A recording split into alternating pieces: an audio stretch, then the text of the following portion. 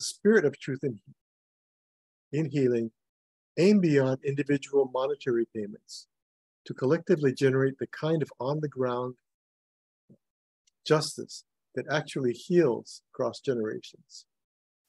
Informed by human rights principles, their approach to social healing endeavors as best possible to recraft the narrative of the injustice, engender acceptance of responsibility by institutions and also, very importantly, governments, and to repair the damage to people's physical, emotional, economic, and spiritual health, community belonging, political governance. These initiatives also seek simultaneously to erect institutional constraints to prevent it from happening again. Um, these kind of far-reaching reparative efforts, as we know, will often miss the mark. Pitfalls are everywhere.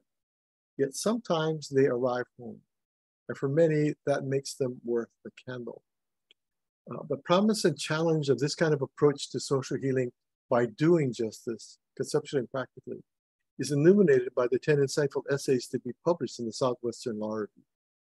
By remarkable contributors today and to the symposium, Natsu Saito, Ruben Carranza, Rebecca Tsosie, Kunihiko Yoshida, Chang Hoon Ko, Sang Soo Her, Margaret Russell, Susan Serrano, Troy Andrade, Greg Robinson.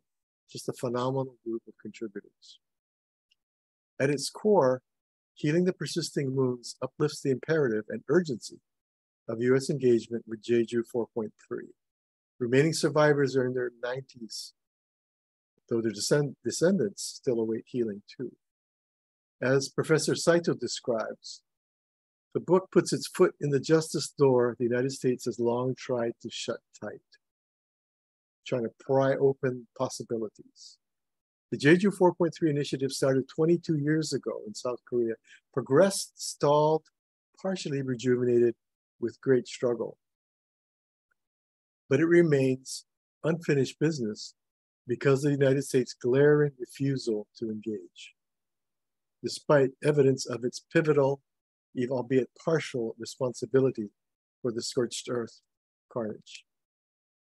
The book's framework also extends beyond Jeju to encompass Native Americans, Native Hawaiians, Black Americans, Japanese Canadians, and more. And our speakers today will touch on these initiatives too.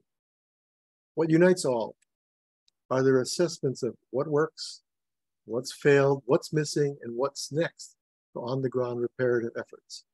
For after all, that's what's important. Professor Miyoko Pettit-Toledo will now lay a deeper foundation for the Jeju 4.3 Social Healing Initiative with stark pictures and a video, powerful video.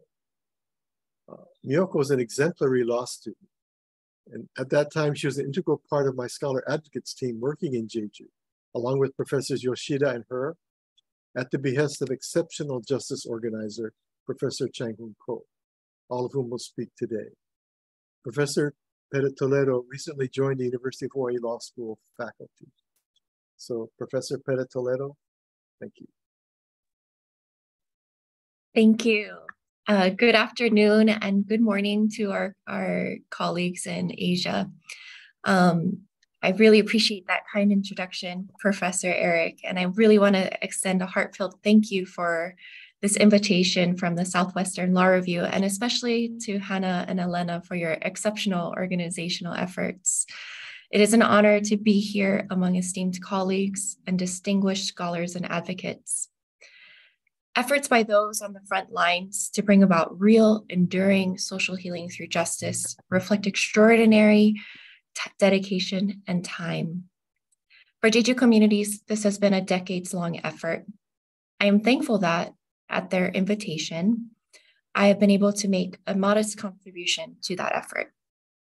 So that the sweeping reach of Eric's book makes sense in our limited time today, Let's draw from the concise account of the tragedy by Professor Kunihiko Yoshida of Hokkaido Law School, who worked with our Scholar Advocates team back in 2013.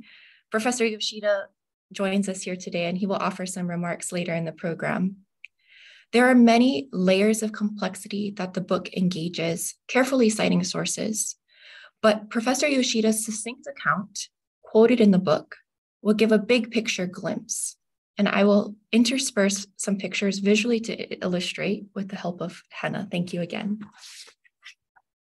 Jeju Island experienced the mass killing of some 30,000 of its 200,000 residents.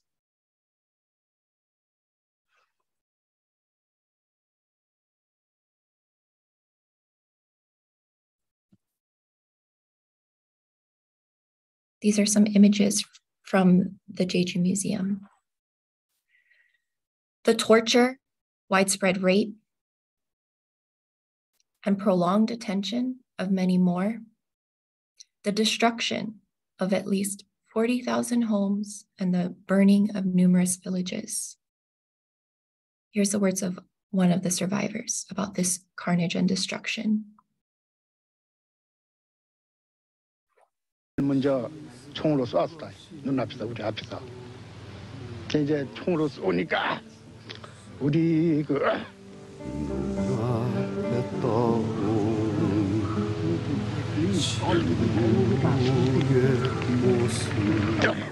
할아버지가 뭐 그럴 거니까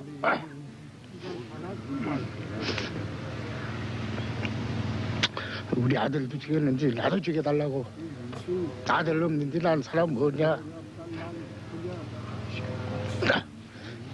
그러니까 이제 또 우리 할아버지도 이제 총으로 쏴버리고 또 이제 그 우리 할머니가 있다가 이런 요새 난 나름 할머니인데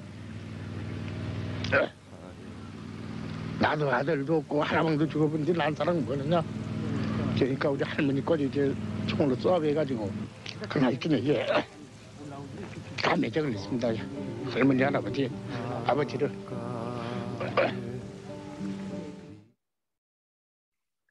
It lies at the heart of a leading South Korean reconciliation initiative. Known as the Jeju 4.3 incident or tragedy, Jeju 4.3 because it started on April 3rd, 1948, the mass killing and destruction by South Korean military, paramilitary, and police under United States military authority and oversight was a taboo subject under South Korean national governments through the 1980s. Inspired by the democracy movement, the 2000 South Korea National Assembly legislated for Jeju 4.3 finding and reconciliation with an emphasis on the suffering of victims and their families. The resulting 2003 Korean language report of the National Committee for Investigation of the Truth about the Jeju April 3rd incident ascertained historical facts, examined responsibility, and made recommendations. Immediately after, President Roh Moo-hyun visited Jeju and apologized to survivors and their families. The national government also took active steps towards social healing.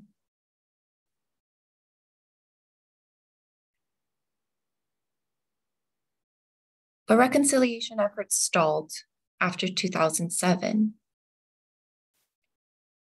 even though the beautiful Peace Park, the inspiring memorial, as well as the informative April 3rd Museum have been established, the problems still exist. Jeju people are still hurting. Redress is very limited. Victims still can't get any reparations because of their wrongful status as the core group of communist guerrillas, how miserably they were slaughtered. And the United States secondary responsibility has not been discussed legally at depth yet, despite the fact that the US also played an important role.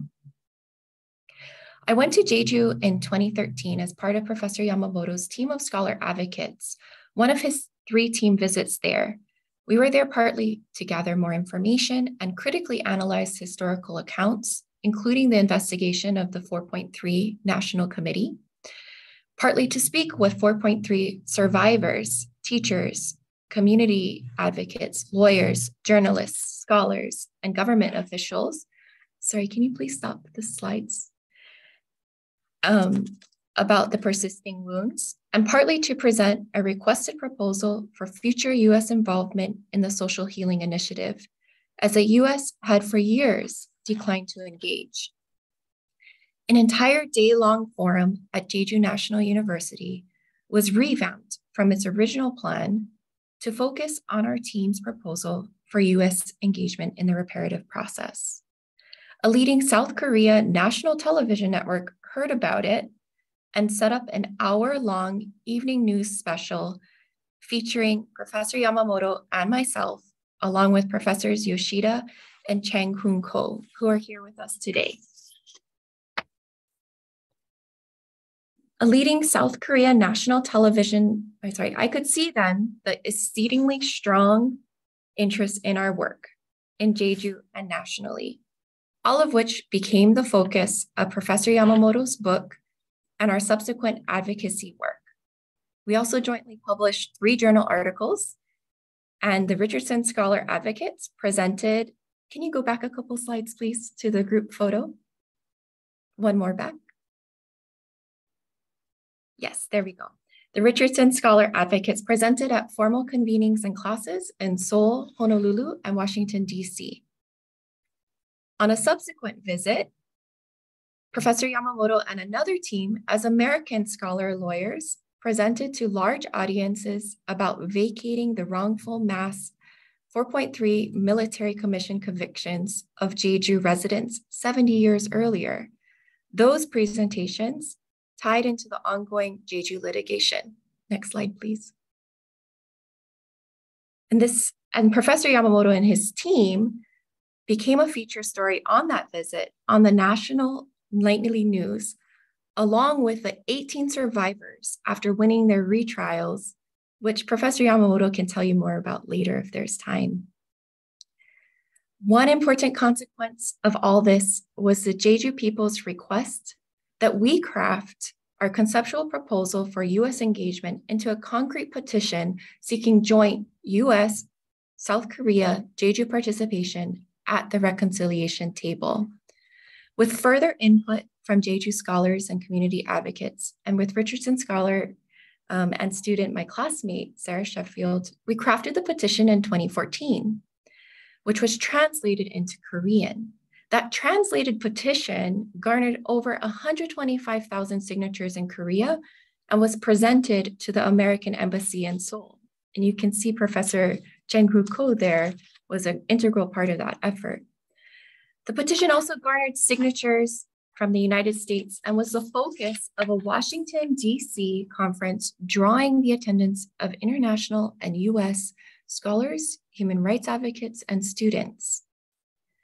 The heart of all this for me, though, lay beyond words or pictures or proposals or writings.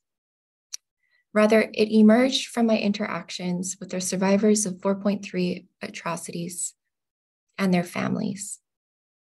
Professor Chang Hoon Ko arranged a private meeting with them on Jeju, and it was very special. It started out a bit formal, with everyone a little bit nervous, but then it eased into intimate connections with guards down as though we were all part of an extended ohana or family. You can sense some of that feeling in the photo that we took at the end, shown here. We asked politely if they each might share their family stories from and since 4.3. The deepest, nearly indescribable pain emerged. The Han, which is pointedly described in the book, along with a wonderful human warmth and kindness and the burning desire for justice and hope for enduring healing, even six decades later. They asked for our help in telling their story of struggle, now found in healing the persisting wounds of historic injustice. That intimate human connection on Jeju, the pain, the warmth, the forward looking desire for justice and real hope for enduring healing, affirmed in a new and profound way why I wanted to become a law professor to train first rate lawyers for Hawaii, and also to help empower people seeking justice for their communities locally, nationally, and even globally. Thank you so much. Thank you, Professor Pettit-Toledo. Thank you for your contribution to this webinar and thank you for being with us today. We're extremely lucky to have you and thank you for sharing your insight and experience. Um, next, we have um, Professor Natsu Saito, who is a professor of law at Georgia uh, State University College of Law. She became a distinguished university professor in 2016 and was appointed a Regents Professor in 2021. Her scholarship focuses on American exceptionalism and international law, the legal history of race in the United States, the plenary power doctrine as, as applied to immigrants, American Indians, and US territorial possessions, and the human rights implications of the US government policies, particularly about suppression of political dissent. Professor Saito, we're happy to have you. Thank you so much. It's really an honor to be part of this symposium on such an important topic and to celebrate yet another accomplishment of one of the most incredible scholar activists of our generation. I really appreciate and I'm humbled by the opportunity to join you from Atlanta, where I live and work on lands from which the Muskogee Creek Nation was violently removed, in a city that was made rich and powerful by enslaved as well as convict labor. I mention this because I think it's always important to know where we are, to appreciate the history and spirits that surround us. But I also start here because today we're honoring the people of Jeju Island and acknowledging their violent dispossession at the hands of the United States, among other colonial powers. Our histories are integrally linked, not least because the United States' ability to direct so much of the tragedy associated with Jeju 4.3 and to continue denying its role derives directly from the ongoing occupation, expropriation, and exploitation of the lands and peoples of North America. Reparative justice has been a persistent theme of Professor Yamamoto's powerful and deeply insightful human rights work. Healing the persisting wounds of historic injustice provides a practical application of the reparations framework he has developed over many years to the atrocities that took place on Jeju Island.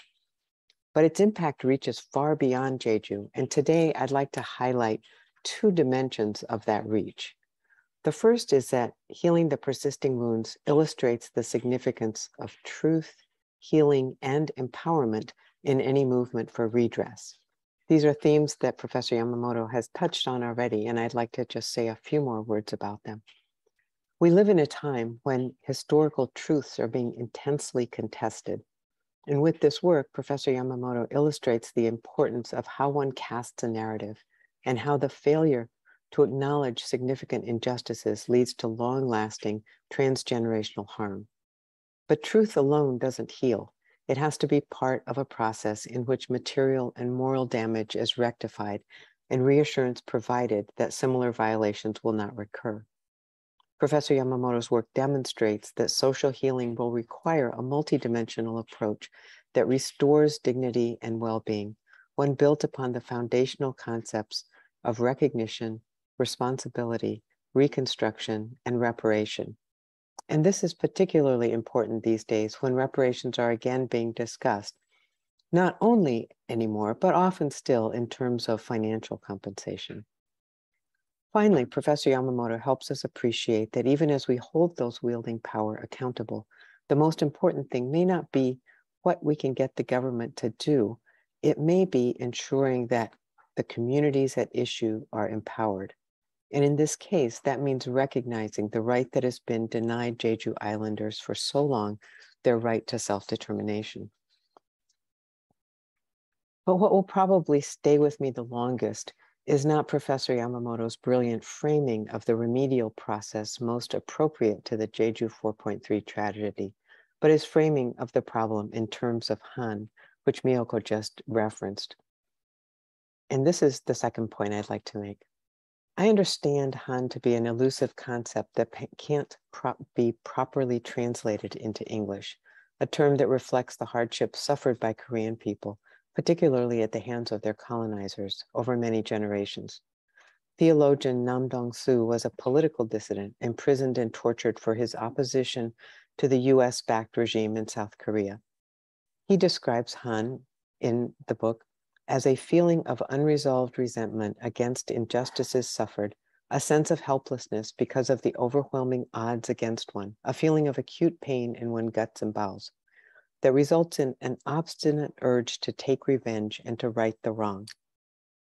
I don't expect to understand all that is encompassed within this uniquely Korean concept, but haven't we all seen such processes at work where wrongs remain unacknowledged and unresolved, producing intense feelings of both helplessness and acute pain? And how, when such deep wounds remain open, the anger and despair they generate persist from generation to generation. These cycles persist, resonating throughout any society that is built on unacknowledged violence and trauma. And that's why we all need to take reparations seriously, and why I think this work of Professor Yamamoto's is such a gift to us. In addition to making Jeju Island's history real to us and providing a very practical path for addressing the wrongs at issue, healing the persisting wounds exposes the sources of the anger and despair we see around us today, as well as the common roots of many of our wounds. It confirms that accountability is essential, but affirms simultaneously that we can't wait for the responsible parties to act. Instead, it places the communities most directly impacted at the heart of the struggle for reparations. Thank you. Thank you, Professor Saito. We are lucky to have you and thank you for sharing your insight and experience. Indeed, Professor Yamamoto's work is a gift to us all. Um, next, we have, um, next we will move to um, more of a general um, speakers web um, portion when our speakers will actually share part of their um, insights and part of their research and contributions that will be published in our uh, upcoming symposium.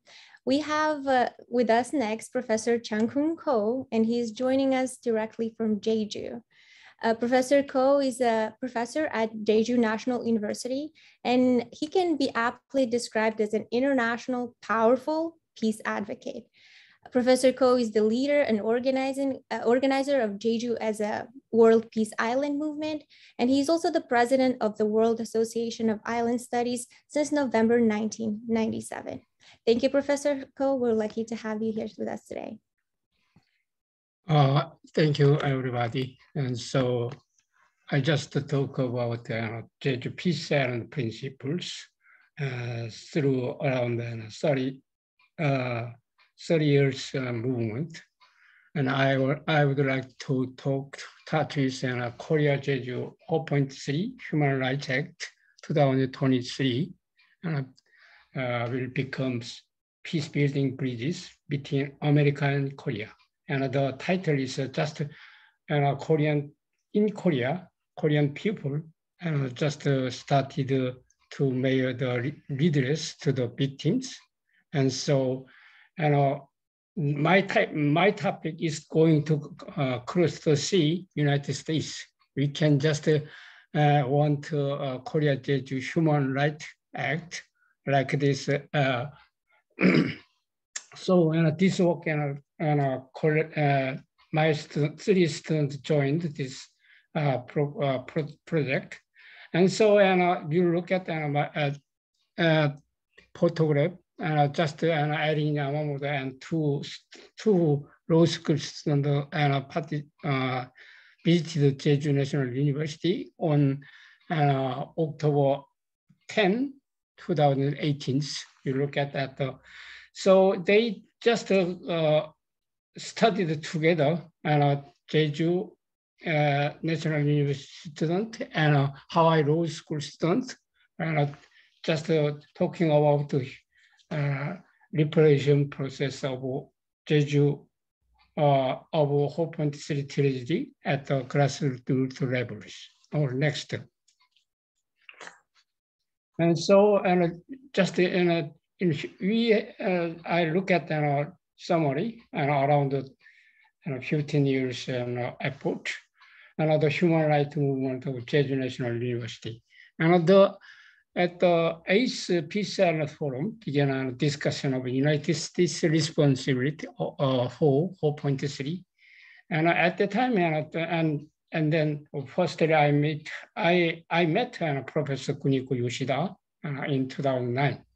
And so interested look at uh, 2014, and we just uh, uh, 2013 and uh, uh, Professor Eric Yamamoto, and so Professor Miyoko Pettit and Jeju And so we just talk about for joint South Korea and United States, the whole point is instant task force for further implement recommendation and foster comprehensive and enduring social healing through justice. And just we just keep on going and until in 2000, uh, the March of 2015, we, we, we went to Washington, D.C. And so just now we're in 2020, and a declaration of a movement, Ilborn signature movement.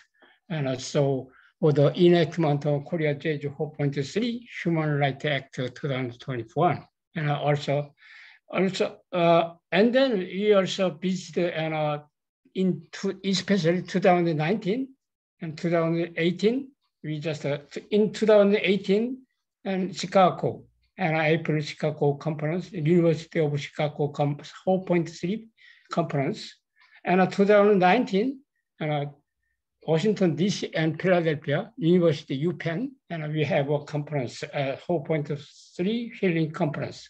And just uh, just now, and uh, Jeju, uh, Jeju uh, pupils and just resolve at the domestic and in Korea. And so we, they want another uh, healings in United States. That's a main, main, main point of uh, this, the human rights movement. Okay, next. And uh, especially I just introduced uh, last year, uh, September 6, 2021, and a social healing and a, conference through online. And, and you look at an uh, of at the screens. And so we look at uh, three, 4.3 victims to uh, speech.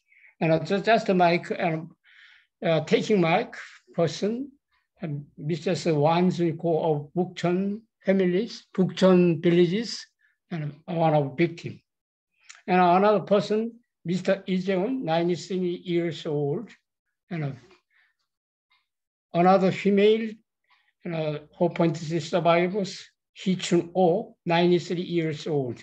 She went to UNESCO at the testimony on November 26th, uh, 2021. It is so, so impressive. And uh, she is one diver also, and he is uh, also 0.3 uh, survivors. And so we have a conversation. We have a how to uh, reconciliation together uh, and uh, through, through an online and uh, at the real situation. And the next, next.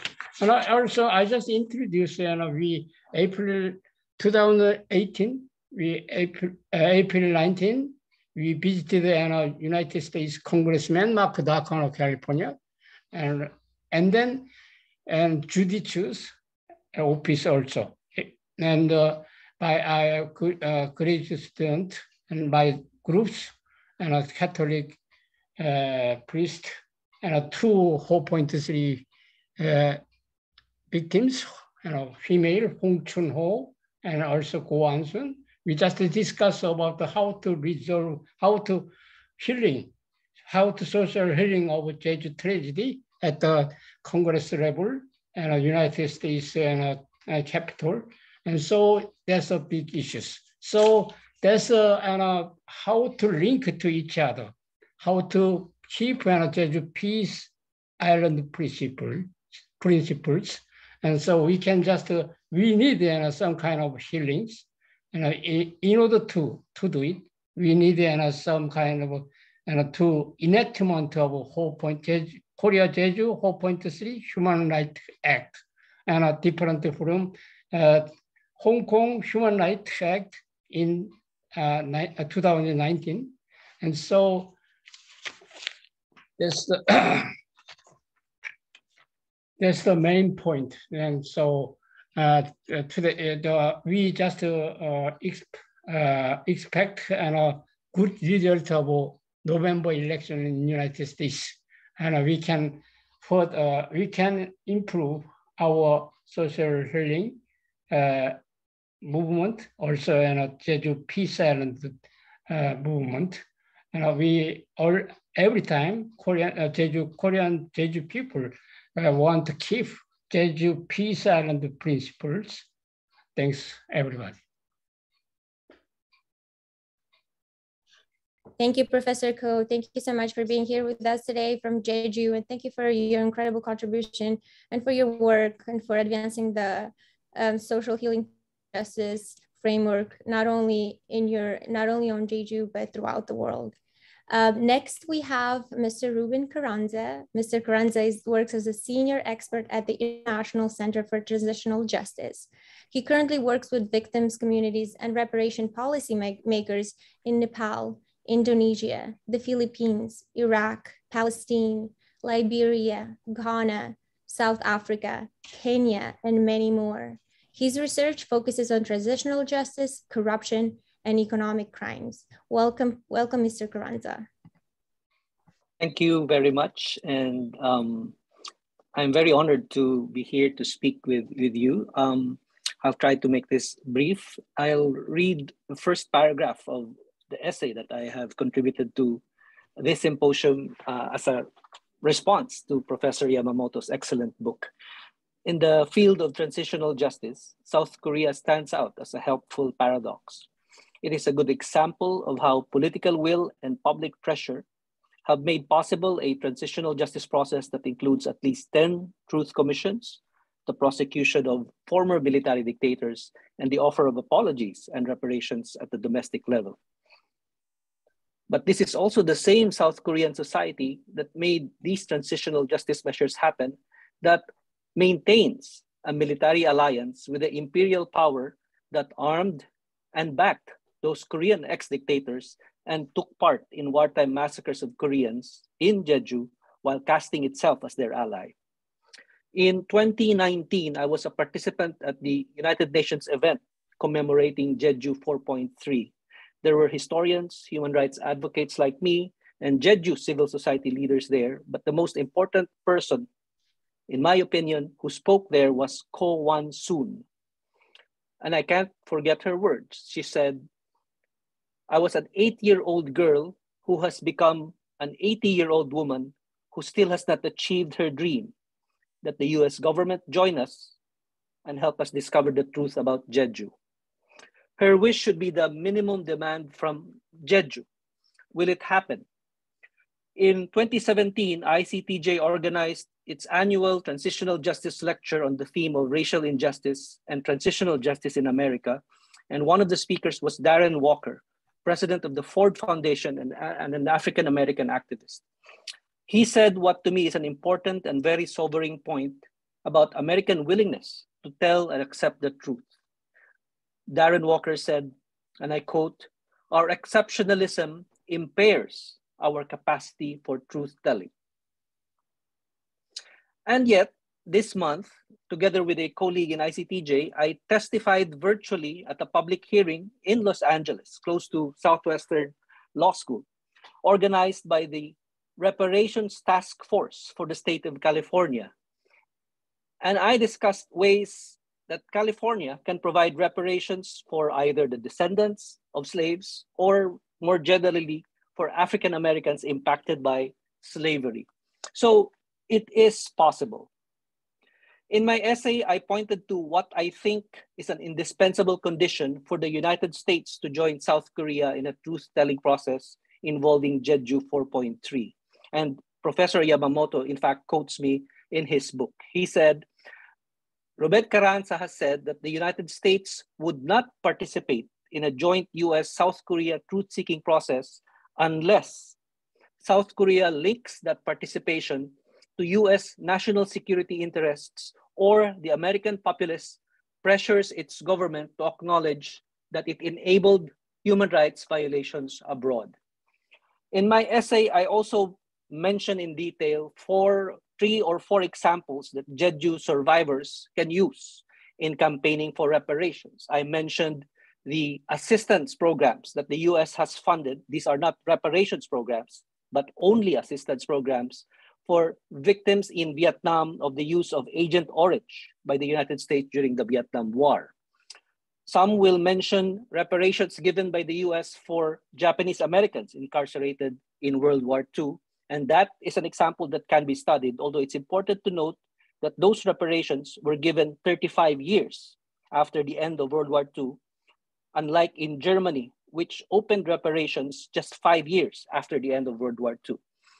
An example I also mentioned is the reparations obtained by survivors of torture in Kenya uh, committed by British colonial forces. They found through a British historian records of their torture in UK archives, sued the United Kingdom, and ICTJ helped them obtain a settlement that funded reparations and a memorial in Nairobi.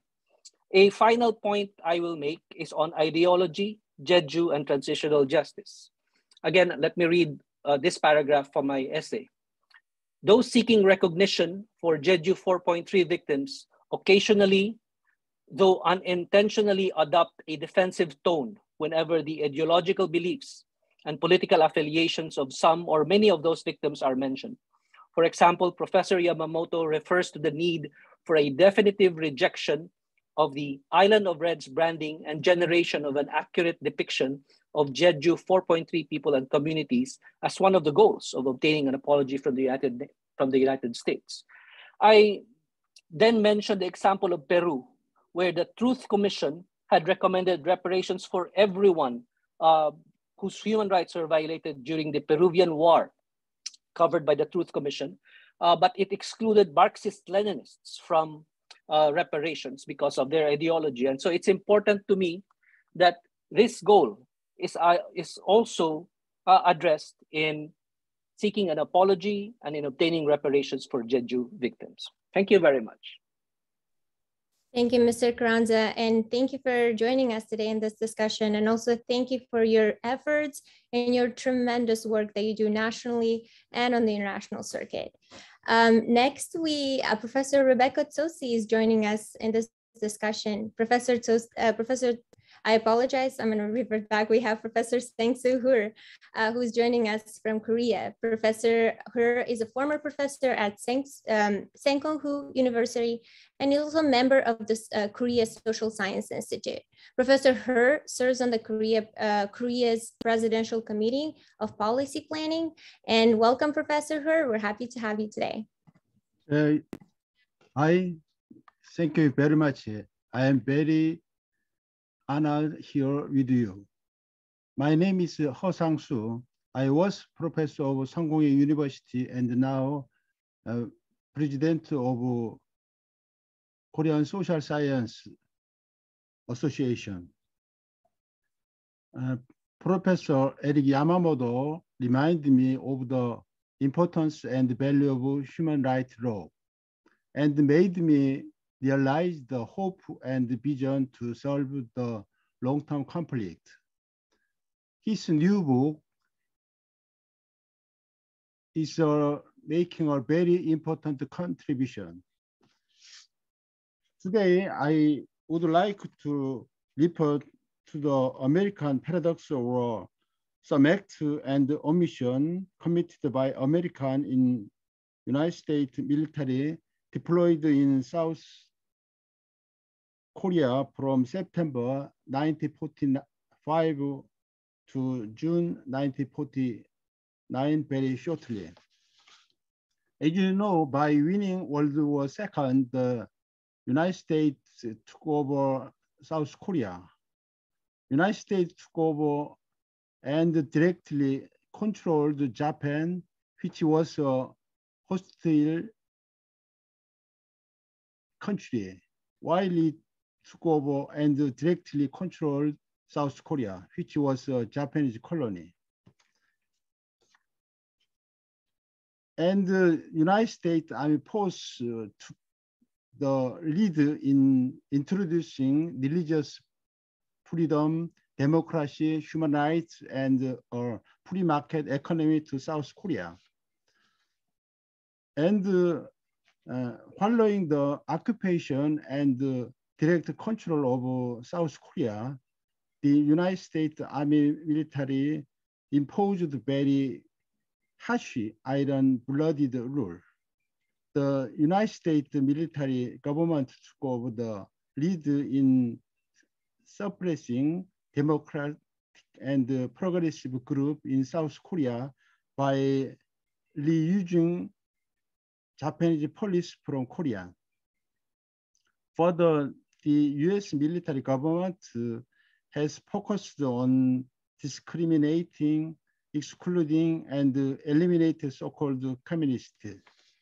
In this regard, uh, I would like to very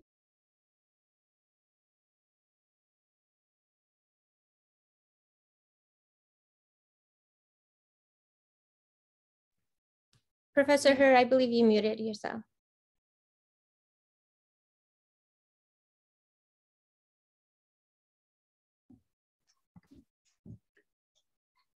프로페서 허 소리가 안 들려요.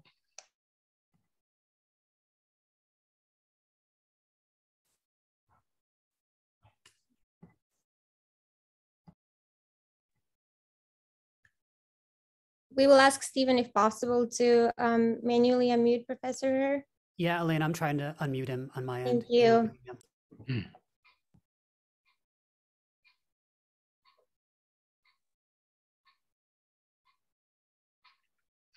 Professor No Voice, No Voice.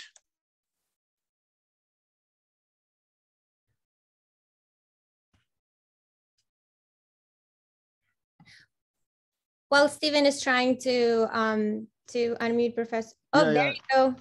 Yeah, yeah, yeah, sorry. Thank you. The issue was whether the United States occupation of South Korea was justified under international law.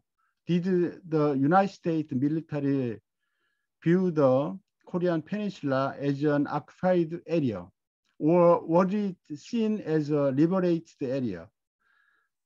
The United States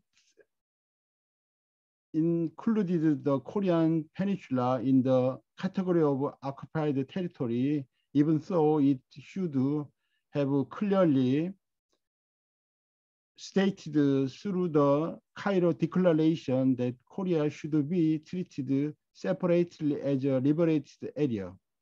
But the United States did not even distinguish between the occupied and liberated area of the Korean Peninsula. And uh, I would like to, another issue is uh, the Korean Army and the National Police under the operational control by United States military advisor burned the village and took their precious lives, accusing them of being communist, insurgent, and rioters.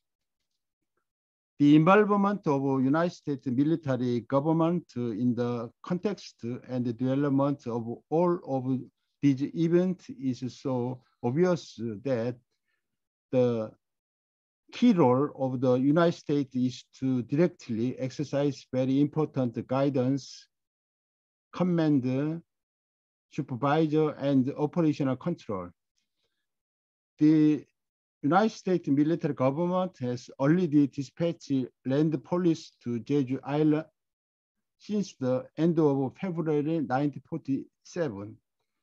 Captain Partridge of United States military government was dispatched to the scene of the Gwandeokjeong massacre.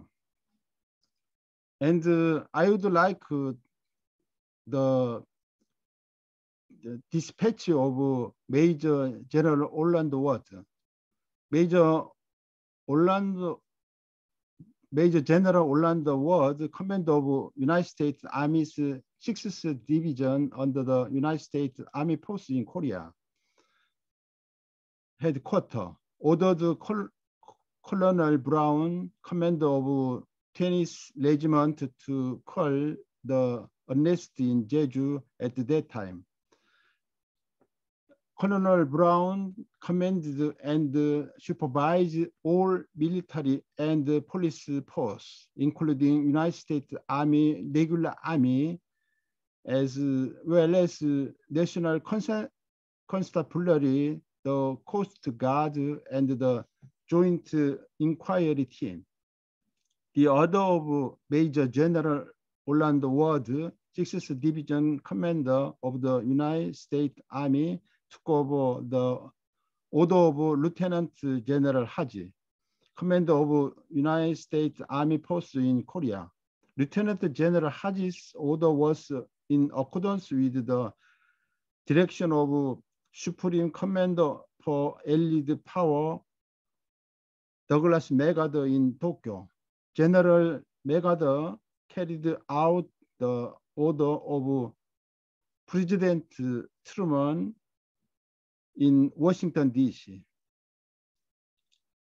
Therefore, the United States government, the United States Army, and the local commander are responsible for the massacre in tens of thousands of unarmed civilians in Jeju. Thank you for your patience.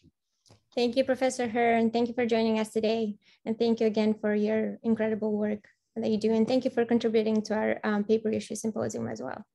Um, next, we have Rebecca Tsosie. Um, I tried to introduce her a little too early, but Professor Tsosie, we're so happy you're joining us in this discussion today. Professor Tsosie is a Regents Professor at the James E. Rogers College of Law at the University of Arizona. Professor Tsosie is widely known for her work in the fields of federal Indian law and indigenous peoples' human rights. Welcome, Professor Tsosie. Thank you, Elena. I want to thank the um, Southwestern Law School and most particularly you and Hannah for being such amazing students slash colleagues. You guys set the standard for professionalism, and it is a great honor to be here today to commemorate the work of my very esteemed friend and colleague, Professor Eric Yamamoto, I first started thinking about these things a long time ago before people were even talking about reconciliation as a healing type of a thing. It was always that kind of tort reparations, very hard line, punitive, retributive justice. Let's get some justice for what's done. And he brought such an elegant voice in his work about healing that I was very powerfully influenced in my own work on behalf of Native people, and by that I mean inclusively the indigenous peoples um, that, that belong to these lands. And thank you to Professor Saito for locating yourself. I am speaking to you today um, from the lands of the um, people, the Akimel O'odham people who are near Phoenix, but Salt River Reservation. So that's where I'm at right now. Um, and I just, I feel that we are at a certain moment, and I'm going to take just a few minutes in the time that I have to commend um, Professor Yamamoto and the um, symposium organizers for bringing us all together across those kind of group identities that sometimes can divide us because we're lobbying Congress for some particular thing for you know our people and we forget about the deeper connections. And so this whole idea that Professor Yamamoto posits in terms of um, healing persistent wounds of injustice to me resonates because it is a collective responsibility that that we have as much of an obligation to name and to frame and to participate in as those with whom we have to correspond about the past and about the present on these conditions of justice or injustice as the case may be. So it's it's a huge undertaking. I think the collective voice is very important and that acknowledgement that once this um, terrible harm happens and my heart goes out to everybody who was affected by this Jeju 4.3 tragedy. I honestly admit I did not know of it before Eric sent me the book and I I couldn't believe that I didn't know about it. I, I, just couldn't believe I didn't know about it. So, for those of you that have spent your careers working on this on behalf of the people, I commend you. My heart goes out to everybody who was touched by this tragedy. And I think that that is also the sense that we feel as Native people because there are these, these complex interactions with the US government who has assumed a trust responsibility for Native people in the United States. How can your trustee do things to you that are genocide, physical genocide, cultural genocide, and then act in a form of denial as if that was for your own good. And that is the, the quandary of being in that position of dealing with historic quote unquote injustice in a contemporary frame. So my contribution to the symposium dealt with um, the boarding schools for Indigenous peoples. And in Canada and the United States, there's a big critical moment, right? Last summer, there was that explosive news story about the, the victims, these child victims that had been uncovered in these unmarked graves, 215 Indigenous children in Canada. And that thrust into Canada's vision what had been in their national vision as a result of the Truth and Reconciliation movement that culminated in a 2015 report that acknowledged this. The stories were told.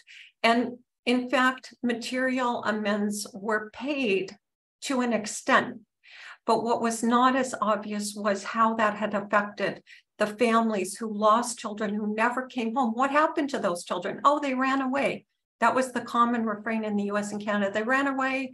We don't know what happened to them. No, many of them did not run away. They died and they were buried or burned and incinerated. So it is that past, which is a very difficult past that was resurrected. And Secretary of the Interior, Deb Haaland, who is herself um, a Native person, member of Laguna Pueblo, as well as Secretary of the Interior ordered a report, and that report was released in May of 2022 with a government entity acknowledging the extreme harms of the Indian boarding school system and documenting that the appropriation of Native children from their families was forcible all the way up to 1969. 1819 to 1969, forcible. Nobody had a choice in that. So, how could that history be disregarded? And here, the contemporary part of what Professor Yamamoto is saying this is an unbroken continuum of harms. Today, we frame them as educational disparities that Native students are underperforming even in state schools. We look at the foster care system where Native children are also appropriated into state care away from their families and the Brackeen case dealing with the Indian Child Welfare Act, which is a form of reparative justice, is going to be heard by the Supreme Court on the 9th the United States is committed to its identity as this pluralistic democracy in which things like this don't happen to its citizens, but they do. They are happening. And so how do we how do we demand accountability for that? And and Professor Yamamoto, you have such an expansive framework for this. I have never seen anybody deal at the level of detail with what must happen for this process of healing to happen. But what I want to commend to the audience is that what we are characterizing, and, and he characterizes sort of in terms of the four, you know, R's of recognition and responsibility and reconstruct reconstruction and reparation, what that really is is a process in which those stories are told because the stories have the agency. The stories sit with the people. The stories are the people who can't have that voice today through their descendants and through those like you that represent those voices.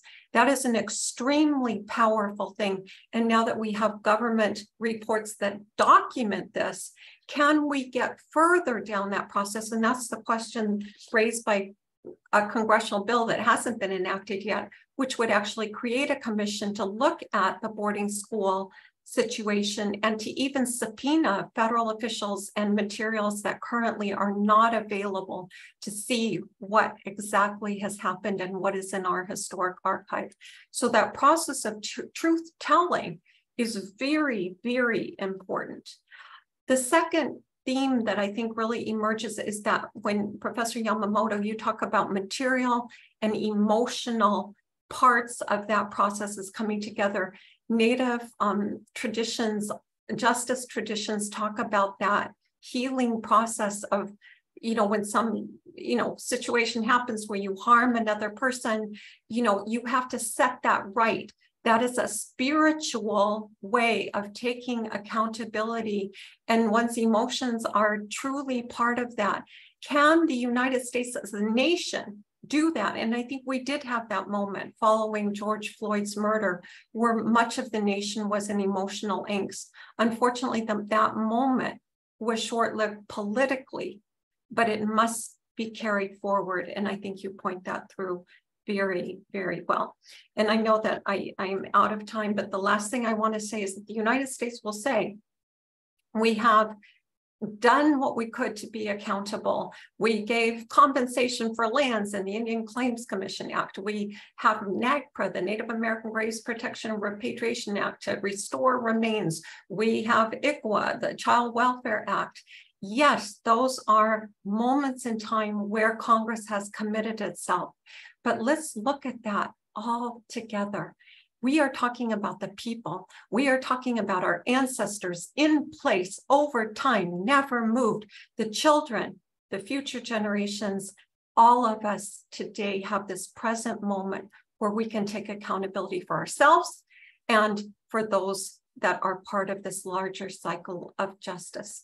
So Professor Yamamoto, my heartfelt thanks for your beautiful work. You are my hero in so many ways. And to all of my colleagues on this program, thank you again for being here today and for the great work that you're doing.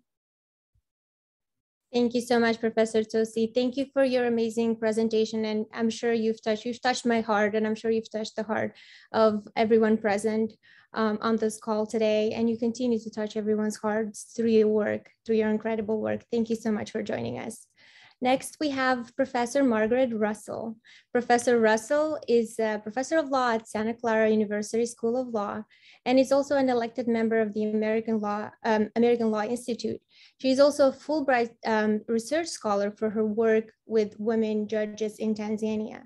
She serves as a member of the California Truth and Healing Council that works cl closely with um, California Native American tribes to accurately represent um, the diversity of experience of all Native American tribes within the state of California. Welcome, Professor Russell.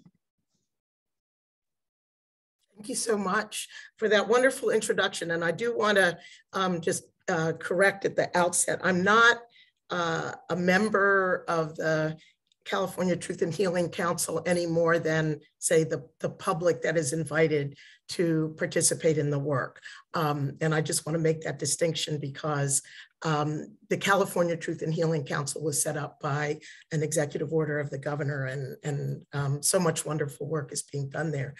But I have been um, very interested in this work, uh, which has to do with um, Native Americans and, uh, and the state of California as it was formed. The state of California, as many of you may know, um, what was, it was not just the gold rush and suddenly there was a state. Um, it really relied on the extermination, uh, the genocide, as Rebecca said, um, of Indians, of Native Americans. And although my past work and the work that um, I've talked a lot with Professor Yamamoto with has to do with historical injustice in the context of African Americans and reparative justice. Uh, I was asked by my own university, Santa Clara University, um, to sit on a working group that essentially would look at the land that, and the history um, of the mission that is one of the Spanish missions that is um, the root of our university and to start telling the truth. Um, and it was a wonderful experience. And as a result of working on that with historians and anthropologists and uh, members of the Ohlone and Muwekma Ohlone community and students, um, I became very interested in the healing process in California because this is a, a this is a genocide. And only now um, is that word, which has very uh, great historical and legal specificity. Only now is it being rightly applied um, by some of the top officials. Governor Gavin Newsom, as, as Eric Yamamoto mentioned, um, issued an apology. He's the governor of California. In 2019, he, uh, he had a public news conference and meeting with uh, members of various Native American tribes in California and did what I think is so important in thinking about Eric Yamamoto's work and framework of recognition, responsibility, reconstruction, reparation. And, and I, I, think the brilliance of Professor Yamamoto's work is that it provides this analytical framework to help dig into uh, difficult issues. And perhaps unknowingly, or perhaps Professor Yamamoto as a student who works for Governor Newsom, but he stepped forward and gave an apology. And it, uh, it was great because he said, I'm a fifth generation Californian and I am ashamed of what I didn't know before this.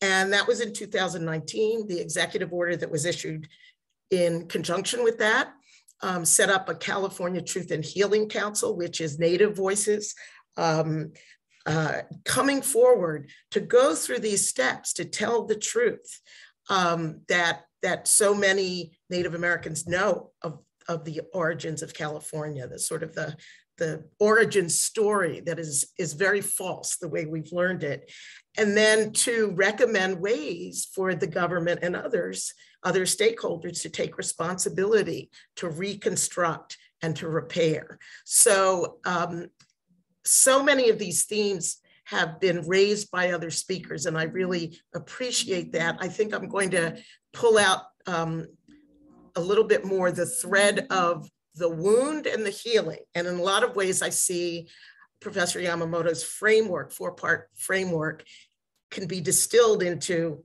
you know, let's tell the truth about the wound and let's talk about what healing really means. So to start that, let me just briefly read from one of my greatest sources of understanding injustice, and um, that is poetry and fiction.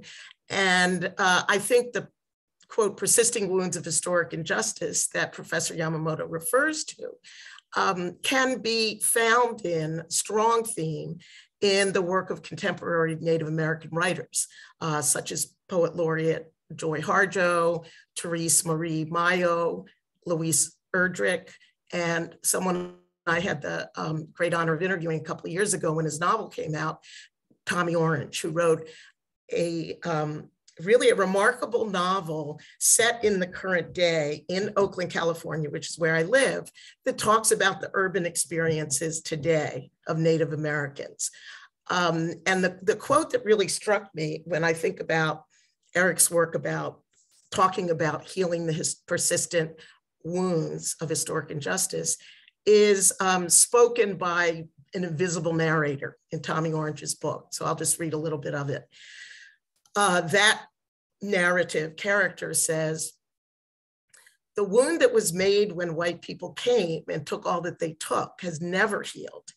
An unattended wound gets infected, becomes a new kind of wound, like the history of what actually happened became a new kind of history. All these stories that we haven't been telling all this time, that we haven't been listening to, are just part of what we need to heal. Not that we're broken, and don't make the mistake of calling us resilient. To not have been destroyed, to not have given up, to have survived is no badge of honor. Would you call an attempted murder victim resilient? Um, that says so much, I think, in that, that fictional passage. And what the California Truth and Healing Council is that was set up through this executive order is, is trying um, to have an open uh, meetings, the, and these are the ones that I've been attending during COVID online um, and hope to in person. And then it sets up partnerships, um, which I do hope to be uh, part of, academic partnerships and others, so that solutions can be talked about.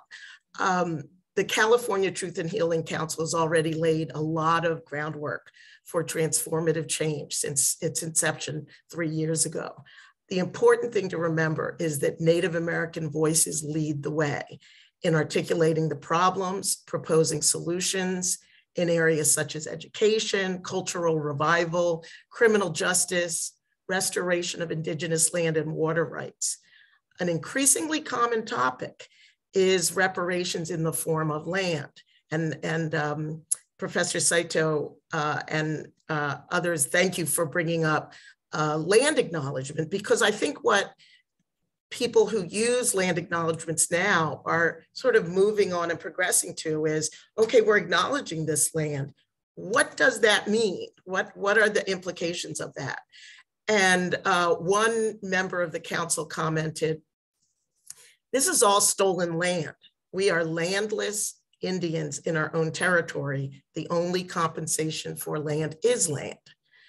So since since 2019, the state has taken several steps, California, consistent with a growing land back movement to return Native American homelands to the descendants of those who lived there before Europeans arrived. In March of this year, the governor proposed giving California's indigenous nations $100 million for the purchase and preservation of their ancestral land. Um, now, I'm not, this is not a glorification of, of the governor, although I think he deserves a lot of kudos, because there is controversy even about that, about the pace of it, about the depth of it. Um, but the fact that it is, happen happening is remarkable. In September um, of this year, Native American leaders from throughout the state joined the governor to commemorate the signing of three landmark bills. AB 1314, establishing a statewide emergency alert system for missing Native people. That is a huge problem, especially missing Native women. Um, Deb Haaland, uh, the cabinet secretary on the national level, has devoted a lot of attention to that too. Uh, AB State Bill 1936 removes the name of the surname of Serranus Hastings from UC Hastings College of the Law and advances restorative justice efforts for Native Americans who suffered mass killings orchestrated by Mr. Hastings.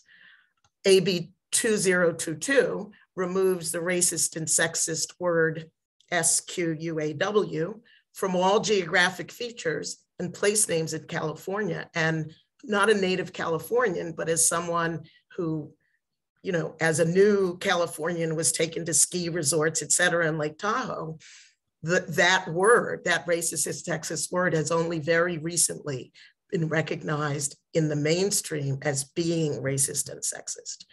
Um, so these accomplishments are, are certainly not the work of, of one governor or a handful of legislators. They're driven by Native voices.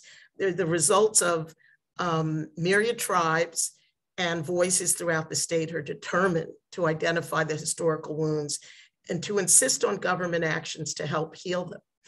Again, we're talking about the kind of historical wounds that I think Eric Yamamoto has so helpfully provided a framework for analyzing and actually moving forward con concretely.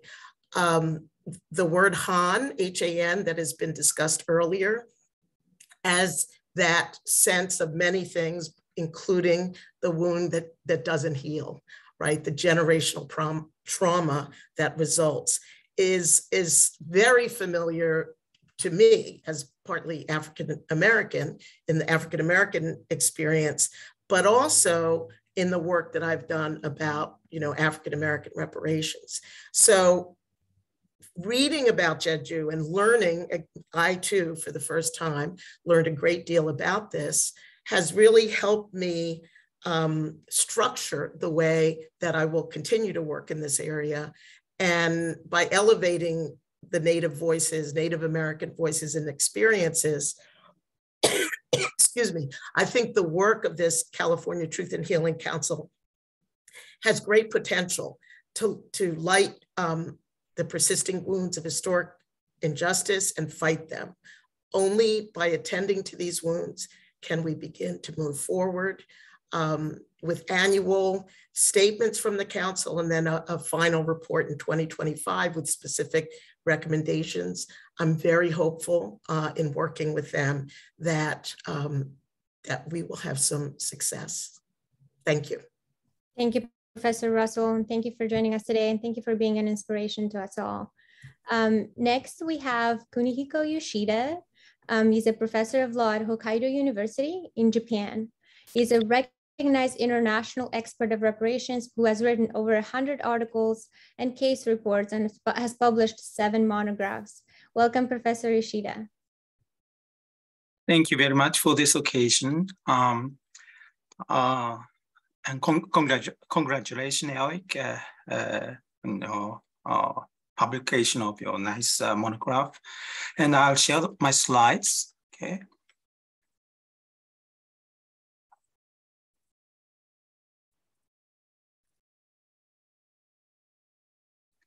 Yeah, I'm today. Um, I'm joining uh, this wonderful online uh, symposium uh, from Paris. Uh, um, uh, it's uh, right now almost 11 p.m. here, and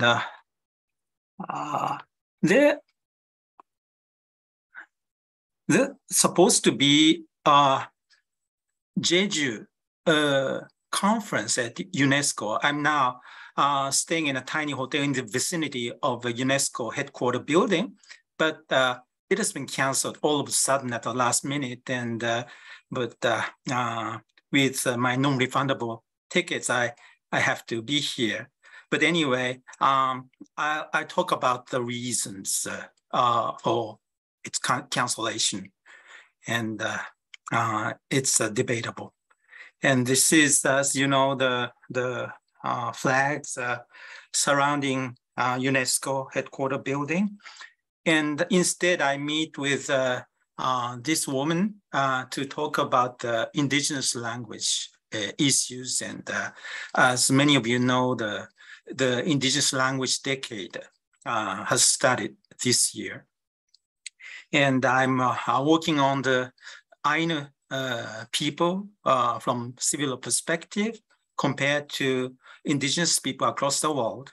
So uh, I have been to uh, Kenya, Brazil, Sweden, Australia within the last several months to meet with indigenous peoples each place. So as introduction, the Pro Professor Ko uh, uh, established about a decade ago the uh, Peace Islands Network organization connecting Jeju, Hokkaido, Hawaii, Ryukyu, and so on. And i have added from indigenous perspective, uh, from their kind of uh, marginalized perspective. Jeju Island is also uh, indigenous people. Uh, uh, they have an independent nation until the 15th century. But looking back uh, the past decade, my contributions have been insufficient, very limited. And uh, redress uh, requires the combined efforts of generations, I think. And our joint efforts for reparations and reconciliation uh, in the context of many tragic cases of the past must be meaningful and, and must continue, especially in the light of vicious cycle of hatreds exemplified by the Ukraine war and other ubiquitous contestations. My, I, I myself uh, encountered uh, with this shocking, horrible tragedy in Jeju in early 2000s.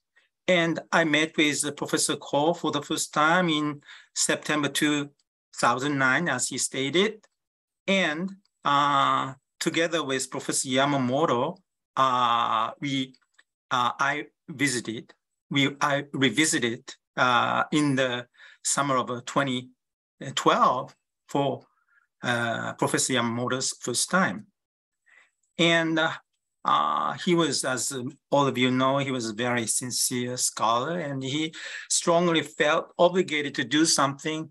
And he already translated a thick official report of uh, April 3rd incident uh, Korean book uh, in the following year. And now we have his uh, thick uh, monograph uh, about this issue. And I myself have felt compelled to take action and discover a solution, but in vain. Looking back at the 2010s, I suspect the move towards reconciliation has been mired in the deadlock of stagnation. In this pessimistic mood, for me, uh, Professor Yamamoto's resilience is impressive. Uh, he has expressed a more optimistic perspective, noting that uh, social healing has been re rejuvenated. But on the other hand, it seems to me with regard to Jeju issues, there are numerous obstacles, challenges, and uh, examples of unfinished business for us to pursue and learn from uh, in the social healing process. This is uh, the picture taken when Professor Yamamoto uh, visited Jeju uh, for his first time uh, almost a decade ago.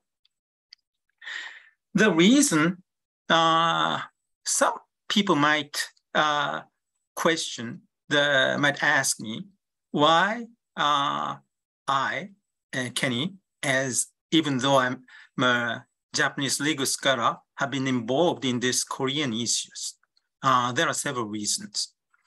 First, there's an affinity between two islands, I mean, Hokkaido and uh, uh, Jeju.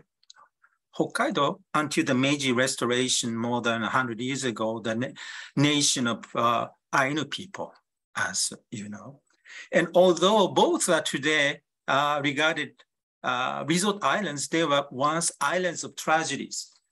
During World War II, 58 out of, out of 135 Chinese slave labor sites uh, located in Hokkaido, while 150,000 Korean slave laborers were allegedly deported from the Korean peninsula to Hokkaido. Uh, uh, and currently, uh, there are less than 6,000 ethnic Koreans uh, living in Hokkaido, though. From the, on the other hand, from the late 1940s, Jeju had its own uh, horrible tragedy where many of its re residents fell prey to mass killing. So in this sense, both islands are now in dire need of reparations and reconciliation. This is a picture uh, of my uh, campus in wintertime, but few students know the, our campus was established uh, after the conquest of uh, Ainu people. This campus used to be the Ainu village, but they were ousted. And then our um, uh, campus was established. And this is a be beautiful picture of Jeju uh, airport, but very few people know so many remains of victims of Jeju mass killings uh, excavated even until uh, 2010s. This is the uh, exhibits of excavation in the Jeju airport. Second, the, the strong relationship between uh, Osaka area, the Western Japan, and Jeju. Currently, uh, about one-fourth of resident Korean in the uh, Osaka region, that is the biggest in Japan, is uh, are from Jeju. This astonishingly high rate is contrasted by the fact that Jeju's population less than 1% of the population of Korea. Many of these Korean expatriates are subject to racial discrimination in Japanese society. The Jeju issue is thus one of Japanese, the problems of Japanese society itself. The high rate of Jeju Islanders in Japan uh, is uh, uh, due to uh, partially due to partly due to the regular ferry boat running between uh, Osaka and Jeju. It's called Kundaegan in Korean language, Kimigayo Maru in Japanese. Uh, this is it. And uh, prominent uh, uh, resident scholars such as Shi Jong-kim, the famous poet, he himself narrowly escaped from the Jeju tragedy in 1949 and uh, Dong Il Kim, uh, she's also uh, running a pop and, uh, uh, mom and pop bento shop in Tokyo until recently, until she passed on. But uh, she has never been classified. she has not get the honor redemption uh, never. Uh, and this is the truth. And the third, the manner uh, in which Jeju Islanders were killed, uh, slaughtered by Korean uh, right-wing group, uh, and the way uh, of uh, the Nanjing massacre was perpetrated by, by Japanese army because many Korean people used to be during World War II a Japanese soldier. The number of victims in Jeju itself, which actually ranges from 30,000 to 80,000, that's shocking. Uh, even though according to the official report, the figure was around 30,000, but according to the prominent uh, resident Korean in Japan, the figure is much more, much higher. And the the one of the most famous uh, scholar on these issues, uh, Bruce Cumings, uh, agreed with the statement at the UN Jeju conference in uh, 2019, uh, responding to my question there. Fourth, the research on this uh, tragedy started earlier in Japan in late 1970s and 80s uh, the ethnic Koreans in Osaka uh, have worked on these issues for a long time. And uh, uh because the Jeju issue was a taboo uh, in Korea until recently, until 1990s. So under the stringent dictatorship, uh, Korean people could not do anything about could not repair the uh, past injustice. This is a special situation in Korea. And uh, here the picture that uh, somebody already shown you, the, uh, the Jeju people were massacred.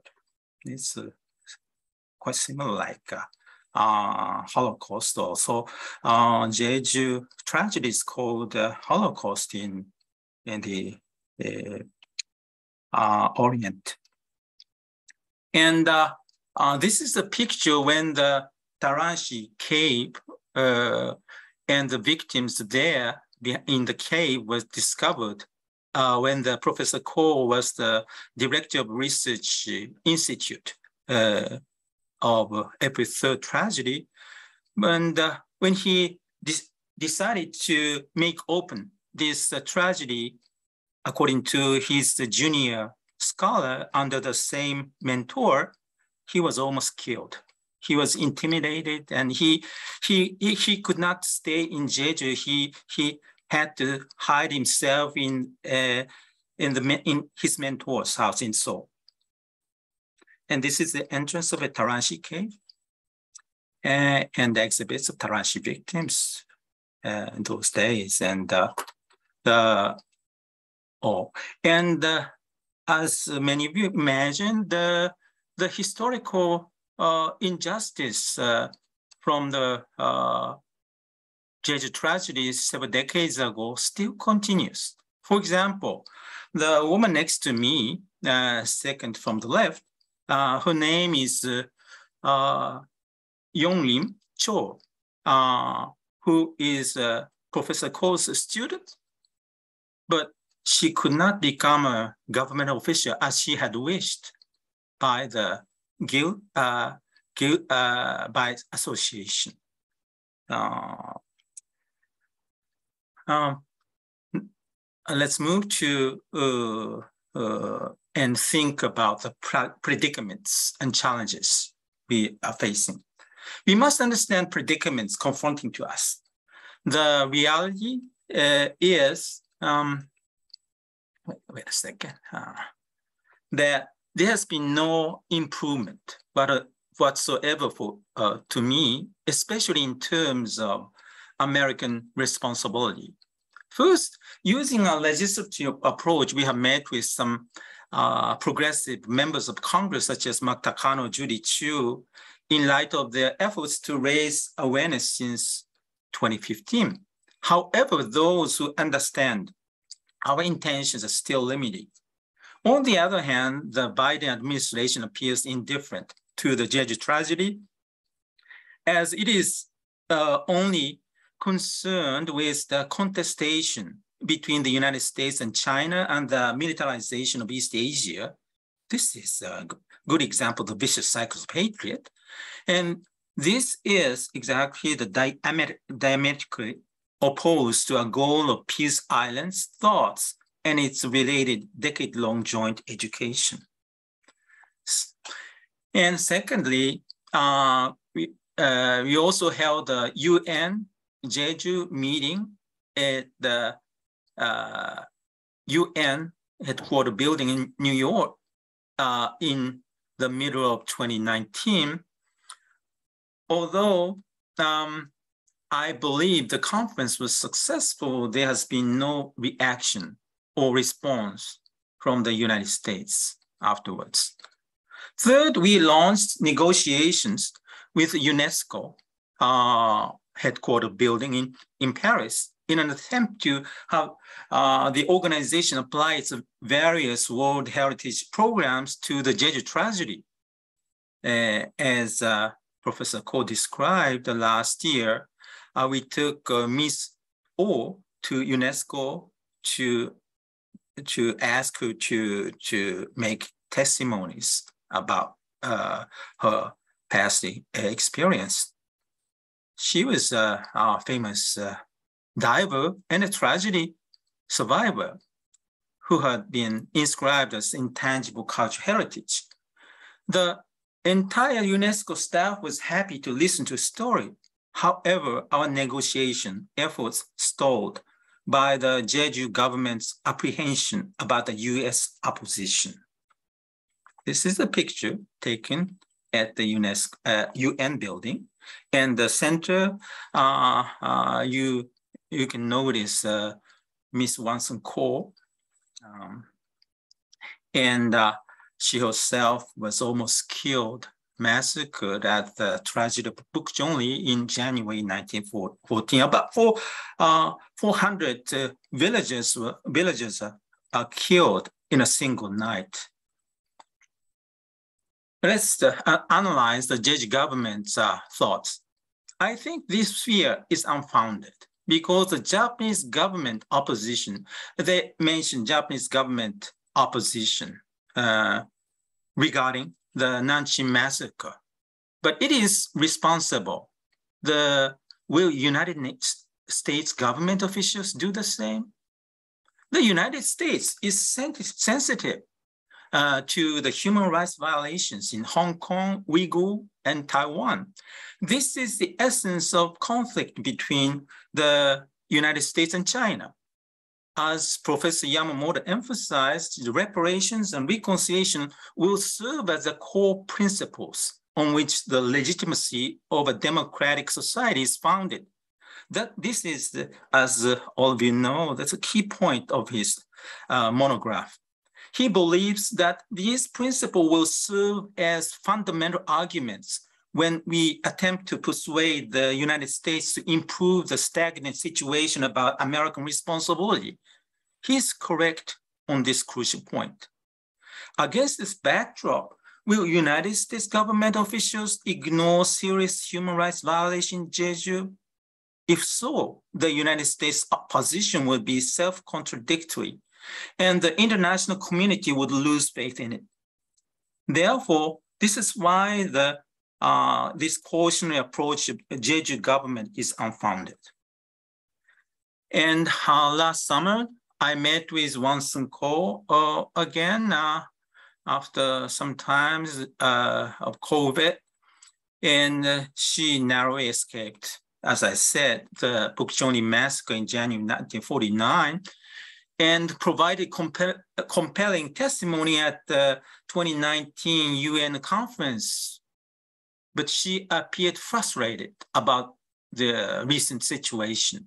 Uh, when she told me, there has been no change ever since I went to New York in 19, uh, 2019. 18 survivors died last year. We should make haste by all means, considering the age of many survivors. That's my perception uh, from a grassroots level empirical investigation. Regarding, uh, we should notice regarding her uh, request about American responsibility, she humbly told me that she only, uh, Miss Ko only needed a sincere apology, not monetary compensation. We must ask the Biden administration to do so immediately as it is much less than uh, the Clinton administration uh, did uh, for the Native Hawaiians in 1993, uh, uh, as Professor Yamamoto interracial uh, justice described. And this is a picture at the Puk Lee and the woman, the second person from the right is the Miss Ko in her community cafe. And uh, according to her, still after several decades uh, from, uh, from the tragedy, the many Jeju communities are divided, fragmented, and not many people uh, can community, uh, communicate with each other. This is the reality. And uh, it's a hard issue how to attain the social healing for such situation, for such uh, villages. We are now entering the world of contestation in the 2020s, which is diametrically opposed to the world of detente in the 1990s when the Soviet Union was restructured under Mikhail Gorbachev's leadership and hope for peace. Even the progressive Biden administration, on the other hand, uh, even the progressive Biden administration, which should be sensitive to human rights issues, has paradoxically increased global conflict, especially between the United States and China and related militarization, as well as along the Ryukyu archipelago across the heads of local peaceful indigenous people. To steer this invaluable reconciliation, social healing, legal scholarship, we must careful, carefully aware of this catch-22 predicament.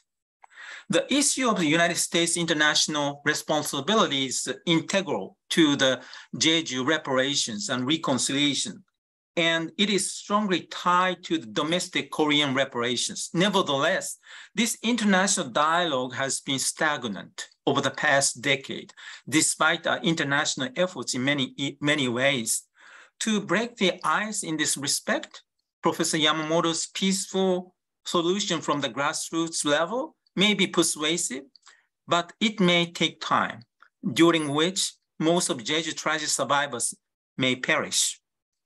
Just like the successful uh, Jeju coram nobis uh, criminal uh, cases on which uh, uh, Nats, Professor Natsu Saito also uh, has written an article, a good article. I, I I uh, remember, and I recall, uh, in the late 19, uh, 2010s, the Jeju in uh, late late uh, 10, 2010s as uh, is shown by slides, and the subsequent 4.4 million dollars reparation in 2019 to over to uh, 2,500 survivors and family members of those who were wrongly incarcerated remind us of the Fred Korematsu Coram Nobis cases to which Professor Yamamoto himself was personally committed.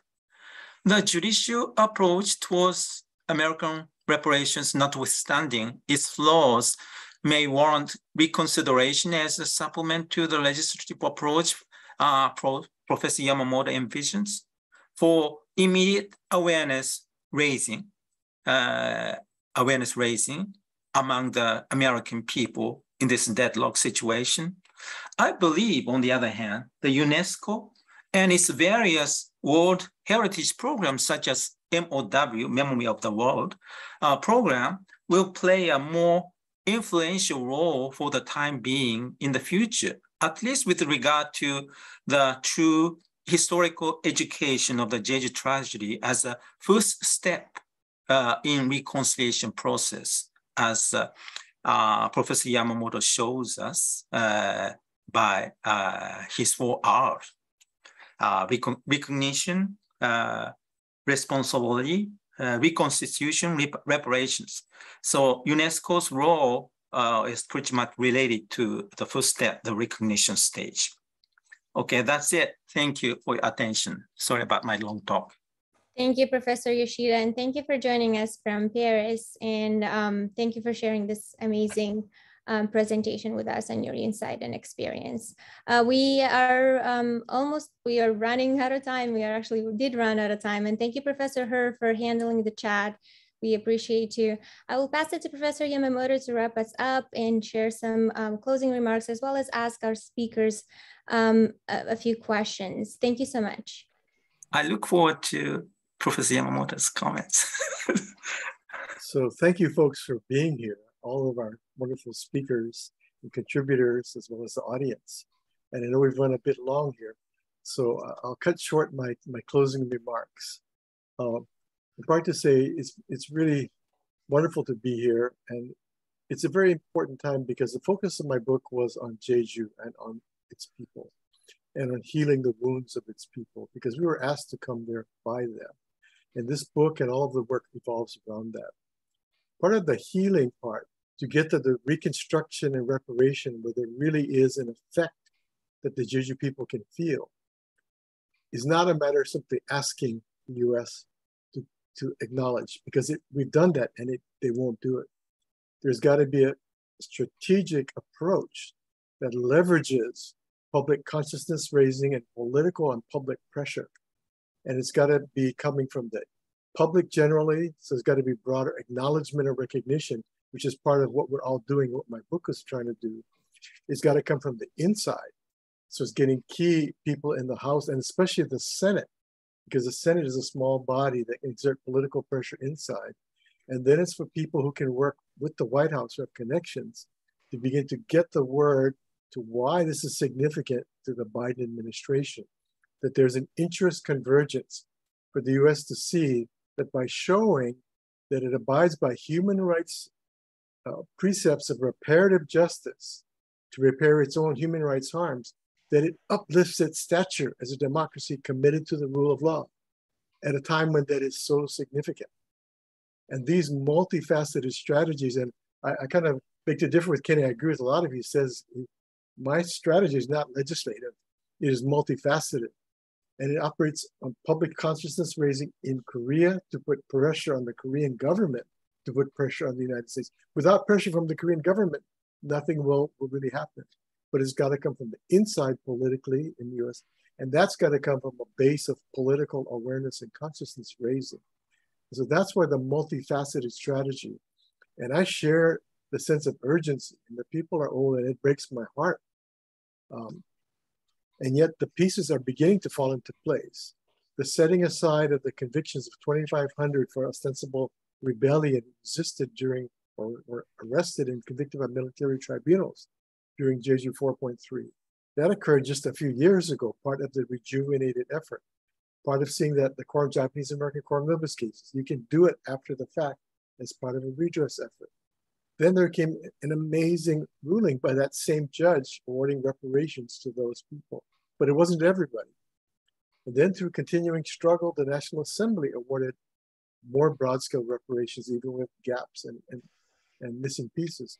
And remarkably, the Korean police and the, the government agencies responsible directly, they apologize for the first time.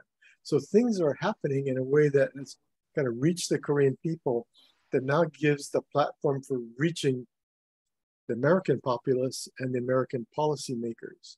But it has to be a multifaceted attack. It cannot just be say it and ask for it it's going to fall flat as it has. So that's the approach that I've taken and, and many others that I've talked to have advised that we take. And of course, a lot of it depends on what happens in the elections in three weeks and the kind of the political power and what the Biden administration can see as, as going to be in its interest. There needs to be some form of interest convergence to do the right thing for Korean, for the Jeju people, but also in, that'll serve the interests of the United States. So I'd like to actually, since we're way over, to close by asking one question. And I'd like to ask it of uh, Professor Chang Hoon Ko. who, as Kenny said, has been the most instrumental person, I think, in my, my estimation, in all of this, in risking his life, his career, to make this known, even in Korea, where people in Korea didn't know about what actually happened. And as several of our speakers said, we in the United States didn't know anything about the tragedy, let alone the US responsibility. So part of the first stage, the recognition stage, is still where a lot of it's at, even to get the US to accept responsibility. So my, my question I want to pose to Professor Ko, and if you can close us off, really goes back to when you helped uncover the Darangshi cave, where a whole village was found slaughtered in the cave and, and covered up. And at that time, no one in Korea could even acknowledge the tragedy and the government's role the US role. But it was Professor Ko and others who publicized it at great risk. And I think that transformed the consciousness, the recognition of what, what happened. And so Professor Ko, if you wouldn't mind closing us off by explaining a bit, telling us the story about your role in publicizing, finding and publicizing the Darangshi Cave and the wonderful and powerful impact that it had on changing public consciousness about what needs to be done to rectify the injustice. So I'll turn it over to you to close us off, or then to Elena to close us off after that. So Professor Ko, can you tell us about uh, we are keeping going and to speak uh, truth to the power uh, to the world. And that's why, uh, and Jeju peace and principle. Uh, we can keep on going. Thank you. Thank you so much, Professor Ko. And on behalf of the Southwestern- Yeah, I, am sorry, I, I need to add one thing. The, the Korean political situation seems to me has been changing after the governmental change. So that's why uh, Professor Ko was asked to cancel UNESCO uh, Jeju meeting. That's good examples. And uh, uh without knowing uh, the political situation uh, in the United States, and it might change after the pub publication of Professor Yamamoto's nice book, but they're too cautious, too timid and don't touch the, that thing. So their their attitude has been already mm. changing. So we need to to uh, break through this situation, and uh, I think Professor Ko uh, reject should reject such a uh, uh, cautious approach, and we should continue our our efforts. I think. What? How do you respond? Uh, Professor Eric Yamamoto and uh, I discussed with uh, how to handle uh, these issues. And so, uh, as a planning next uh, Washington DC uh, conference, uh, 4.30 conference. And so I, I agree. I, I, I accept. I just approach and uh, cautiously and because of political situation. As you know, in United States also, you know, Democratic Party win we can do just uh, to, proceed and more. Uh, uh, but then uh, so next year and uh, March 20, we just uh, have a uh, celebration Korean Charity and World Peace. And of course, the, after that, uh, we have we will have a and uh, Jeju 4.3 and uh, 3D issues and a conference and by as a, a kind of a, a global uh, uh, World Peace, uh, Global Peace Bulletin Assembly uh, by youth people and uh, invite know, uh, Eric Yamamoto and so on. And so uh, that's my uh, strategy. We can, but uh, we can keep going our effort and we can, uh, that's my ideas. Okay, thank you. And I'll just quickly um, add to that and then we'll turn it over to Elena. But the key word that Professor Ko just mentioned is strategy or strategic. It's not so much cautious or bold. It has to be strategic, calculated to get success. Because it can feel good to be bold, but if it's not, if it's going to fail, it doesn't get you anywhere. So the key is how do we take the best strategic approach, combining all the things that we know and all the kind of support that can be mustered to achieve the goals that the people of Jeju really need and want. So Elena, thank you, and thank you to everybody. I'll turn it back to you. Uh, we, the Southwestern Law Review, would like to thank everyone present on this call, to our phenomenal panelists today. Thank you for joining us and thank you for staying over time. We appreciate your time and you know your time is valuable, but we really appreciated your presentations and your experience and seeing your research. And only, we believe that only through learning and action we can achieve change. So you are so appreciated. Thank you very much. And please feel free to survey to get the CLE credits. And thank you for spending your afternoon with us. Thank you very much. Thank you um, so much. Yeah. Congratulations again. Yeah. Congratulations.